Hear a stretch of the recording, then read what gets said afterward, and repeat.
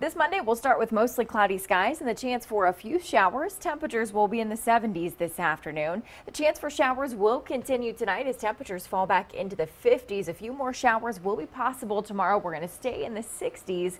Temperatures as we get closer to the weekend warm back up into the 70s.